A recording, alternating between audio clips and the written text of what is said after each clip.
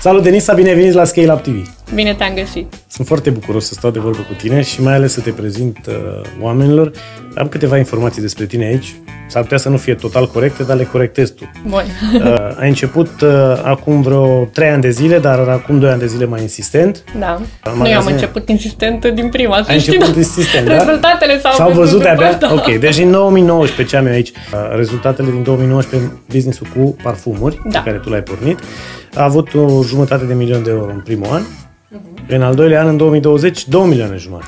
Deci de 5 ori mai mare, 500% creștere. La ce aspecte erai atentă în afacere înainte de a începe cursul și uh, la ce aspecte ai fost mai atentă după pornirea pe drumul scalării? S-au schimbat total percepțiile. La început gândești mic, Uh, de exemplu, eu în primele 8 luni n-am avut niciun angajat că mă gândeam de unde îi dau salariu. Așa mie nu-mi dau, asta e Da. mare lucru. Am mai muncit și altă dată și pe a gratis trebuit să avem- vin la Scale Up și știi că ți-am mai povestit că primul lucru pe care l-am făcut după ce am Ai? venit la Scale Up, am angajat un om. Și ai zis, gata frate, trebuie să angajăm, așa ne-ai zis Pentru că ăsta. pentru mine oamenii erau consumatori, nu erau aducători, nu erau un activ al firmei. Da. Și am înțeles ăsta un lucru. Doi, um, eram foarte atentă la lucrurile uh, superficiale, de suprafață. De exemplu, alegeam o sticlă numai pentru cum arată. Mhm. Sticlele noastre luxury de parfum au 800 de grame, fără cutie. Te-ai gândit la costul atașat Nu. log- logistic Nu după m-am aceea? gândit, acum le reșim din plin. Și în general gândeam de la mic la mare și acum gândesc un pic invers. Mm, De la mare la mic. Da, acum pornim de la obiectiv și ne gândim cum facem Nice, să, să-l nice. atingem. Și a treia? Și a treia trebuie să zic trei? Nu, ai spus deja două, dar m- când te-am văzut așa structurat, am prins curaj, am zis, bă, stai puțin, că acum e momentul de structură. Poate mult prea emoțională înainte și acum uh, încerc și fac eforturi să gândesc pentru business și să mă gândesc că businessul este ceva care are nevoie de cifre, de rezultate și că emoțiile servesc până într-un punct, dar nu în totalitate. Și că dacă vrei să fii până la urmă emoțional până la capăt și să ai grijă de oameni, trebuie până într-un punct să nu fii atât de emoțional. Cea mai mare greșeală în procesul de scalare, Micromanagement. micromanagement. Da. Îți Explică. consumă- Îți Ce? consumă foarte mult timp. De ce e greșit. greșeală? În primul rând, ce înseamnă micromanagement? Du- Doi, de ce e greșeală? Cred că este un rezultat al faptului că eu am avut acele 8 luni în care eu centram, eu dădeam cu capul. nu, și după aia ok. mi-a fost greu să Un- mă desprind. Un, un habit, un obicei pe care tu l-ai învățat în ele 8 luni de singurătate, Da.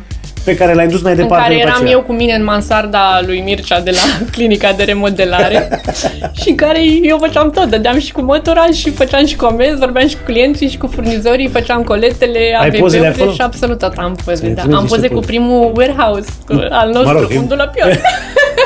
În primul era, am zic, Da. Avem Fundul dulap. la pion. Dulap.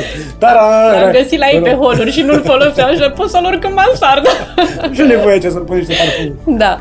Și uh, cred că uh, atunci te prinzi niște, niște obiceiuri și ești obișnuit să fii hands-on și să fii tu acolo în tot ce se întâmplă. Lucru care în momentul în care business-ul crește, evident că nu mai ai cum să-l mai faci. Că, De ce?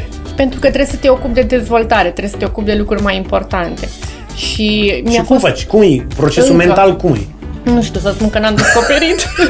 e foarte sincer ce spun acum. Adică Fac efort. faci planificare, Mă buget, nu știu trezesc. care și fuga în depozit să mai faci o chestie da, mică. Mă trezesc făcând lucruri și mă opresc în timp ce le fac pentru că îmi dau seama că nu trebuie să fac lucrul ăla pentru că îmi consumă timp, pentru că există oameni care să-l facă și cu siguranță dintr-un punct încolo îl fac mult mai bine decât mine pentru că ei deja au volume și rulaje mai mari decât am apucat eu să am. Și în- totuși, Da, mie, asta mi cred că e cel mai greu lucru. Ăsta și cumva și delegarea care vine ca o urmare. dacă ar fi să explici pe scurt casa scale-up cuiva, cum ai face-o? Care nu știe despre scale-up și toate astea, dar e antreprenor. Eu sunt cel mai bun exemplu pentru că eu când, eu când am venit la Scale Up l-am uh, însoțit pe Mircea la Scale Up. Da, da, tu ai venit, uh, bă, hai încoa cu depozitul tău, știam. cu raftul tău, hai Deci încoa. eu nu știam nimic, Cristi. Eu eram atunci am te văzut în prima oară în viața mea. Nu știam ce înseamnă scale up, crede-mă. Deci nu știam nimic. Când m-a dus Mircea la Business Days prima oară și am auzit B2B și B2C. A, și după aia ai avut tu o prezentare și ai vorbit despre afacereză, care Ce ai? pentru mine era chineză. Și m-am uitat la Mircea și mi-am zis, tu știi toate astea? Tu știi ce spune? Tu înțelegi ce Că pentru eu nu înțelegeam nimic, crede-mă. Și am zis, doamne, când vreodată o să, o să ajung eu să învăț toate lucrurile astea. Este un punct în care este trecerea aia dintre cum uh, gândirea de la mic la mare. Mm. Cred că este momentul, punctul în care ai așa o revelație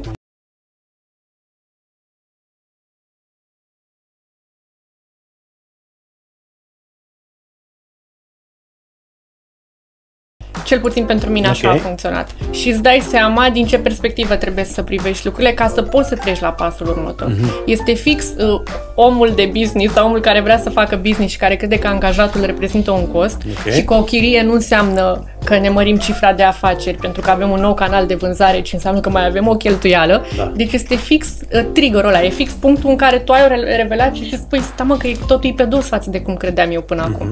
Revelație. Asta ar fi un cuvânt Mhm. Ok. care mie mi s-a potrivit.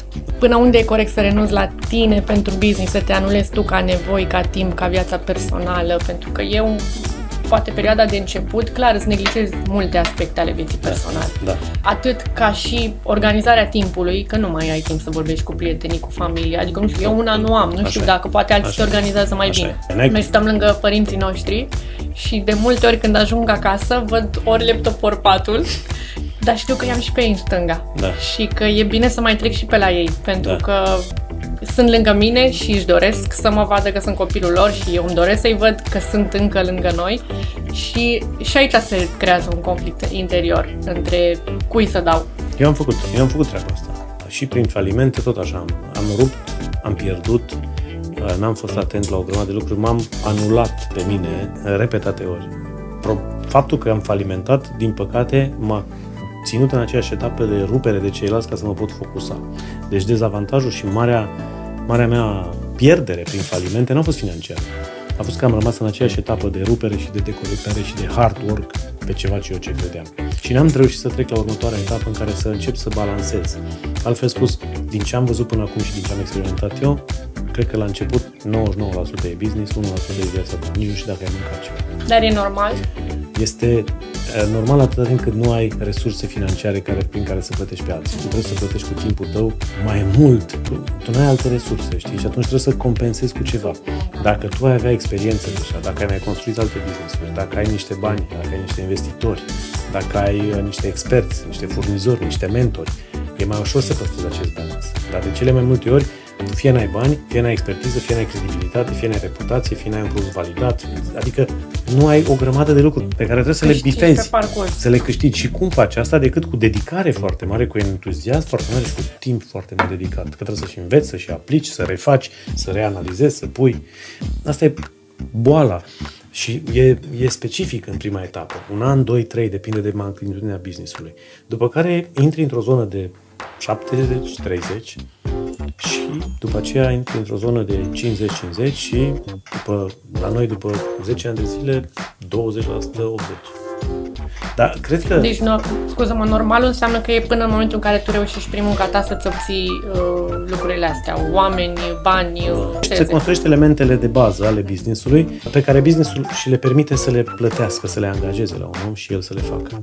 Dar e un cursor care nu trebuie să ne sperie, doar că trebuie să-l muș- mișcăm. Ideea este să avem un plan, să-l mutăm de aici până acolo, să nu stăm doar aici. Nu rămân acolo. Da, e un cursor care e firesc să-l muți și să-ți câștigi timpul prin convertirea timpului tău inițial în valoare, ca acea valoare să o continui să reinvestești și să-ți elibereze timp. Poate prima fază angajezi un CEO din primii bani pe care ai făcut, după care peste șase luni un uh, director de marketing, după care peste șase luni. Deci gradual te retragi din funcțiile principale după ce ai pus un țăruș și știi exact ce să ceri și pui pe cineva și spui acum construiește un pilon aici. Că eu n-am pus decât un țăruș să știi unde e și ce să faci.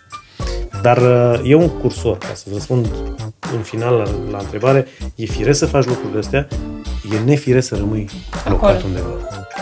Pentru că dacă rămâi acolo, nu mai e viață, e calvar.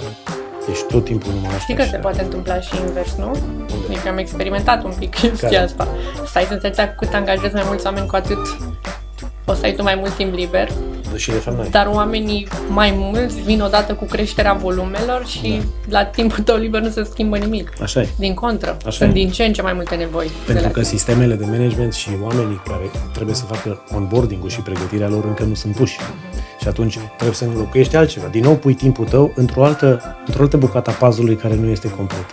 Până nu pui toate bucățile de puzzle complete, până nu faci casa scale-up și le pui pe fiecare și aloci câte un răspunzător pe fiecare, n-ai cum să scapi. ai scăpat de una, ți-ai dat seama că cealaltă e nefăcută și importantă, n-ai încă bani să o aloci pe aia, că de-abia l-ai plătit pe ăsta care să se ocupe de cea pe care ai dezvoltat-o. Trebuie să te duci plus acolo. acolo da. Da, Dar e tare. interesant că înveți foarte multe lucruri în tot procesul ăsta.